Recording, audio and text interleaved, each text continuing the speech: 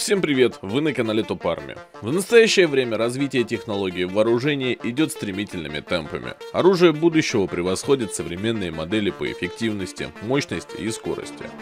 В этом видео я расскажу вам о самых грозных технологиях вооружения, которые уже разрабатываются и используются в армиях многих стран мира.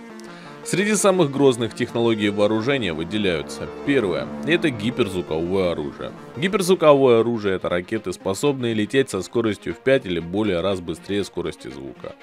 Данный тип ракет обладает огромным потенциалом в области технологий вооружения. Тому пример гиперзвуковые ракеты «Кинжал» и «Циркон». Второе место – разведдроны. Сегодня разведка осуществляется различными способами, одним из которых являются беспилотные летательные аппараты. В ближайшее время технологии разведданных будут существенно развиваться, в том числе за счет искусственного интеллекта. Ну и сами подумайте, где они применяются и почему будут очень сильно развиваться.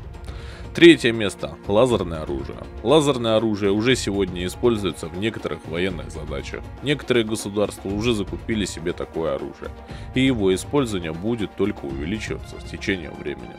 Ну и, например, такой пример, как российский комплекс, э, лазерный комплекс «Пересвет».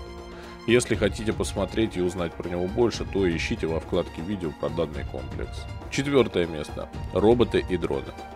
Робототехника – это технология, которая может изменить структуру вооружения. В ближайшее время человечество станет свидетелем рождения новых форм военного оружия, различных видов роботов, оснащенных оружием. Тому пример боевой робот-маркер. На гусеничном шасси может нести стрелковое вооружение, способен нести 12,7 мм пулемет «Утес» и блок из ручных противотанковых гранатометов РПГ-26.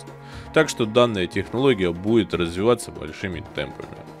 Пятое место. Электробоевые комплексы, или, как всем более известно, системы РЭП. Система РЭП – это технология, которая уже сегодня используется в военных операциях многих стран мира. С помощью электронных комплексов можно остановить работу различных устройств противника, что делает его оружие бесполезным. У России очень много, большое количество данных систем РЭП. Например, РЭП комплекс Красуха-4, также можете увидеть полное видео про этот комплекс на канале, так что ищите во вкладке видео. В общем, оружие будущего имеет огромный потенциал в сфере увеличения безопасности и, конечно же, в военном деле. Однако все свежие новые технологии это не только плюсы, но и минусы.